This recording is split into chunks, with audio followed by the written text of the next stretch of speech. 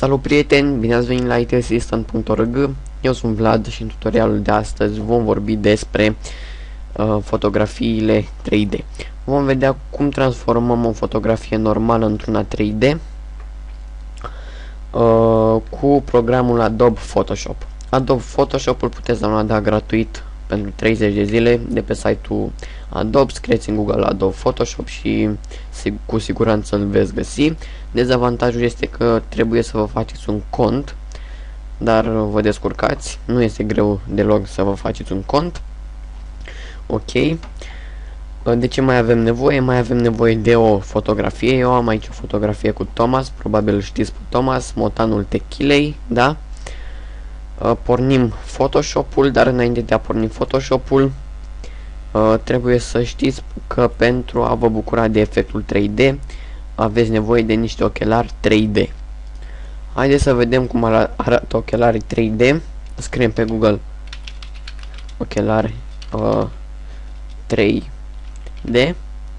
Dăm Enter, mergem pe imagini și aici uh, găsim ochelari uh, 3D cu ramă de hârtie, de carton, care costă în jur de 6-7 lei. Nu știu unde să vă spun să vă ce să, căut, să cumpărați. Sau mai sunt și acești ochelari 3D cu ramă de plastic. Pe aceștia îi puteți cumpăra din Altex în jur de 20-25 de lei. Da. Uh, ok. Putem închide browserul. Uh, deschidem Photoshop aruncăm imaginea aici, luăm cu drag and drop și dăm drumul în Photoshop. Dacă vreți, puteți să-i dați puțin zoom. Pentru a-i da zoom, ținem alt și dăm de scroll înainte, da? Duplicăm layer-ul, acesta este un layer, așa se numește, click dreapta, duplicate layer, aici dăm un nume, bread, uh, default vine background copy, o să las așa, ok. Acum mergem pe acest icon, FX, da? Și pe Blending Option. Aici debifăm culoarea roșie și dăm OK. Tot ce trebuie să facem este să ținem control apăsat și să apăsăm de minim 4 ori și săgeată spre stânga. 1, 2, 3, 4. Dacă vedeți că efectul 3D nu prea este natural, mai apăsați de câteva ori. De exemplu, la mine efectul 3D la această fotografie natural ar fi cam aș, așa, așa, da, o să las eu așa sau chiar așa.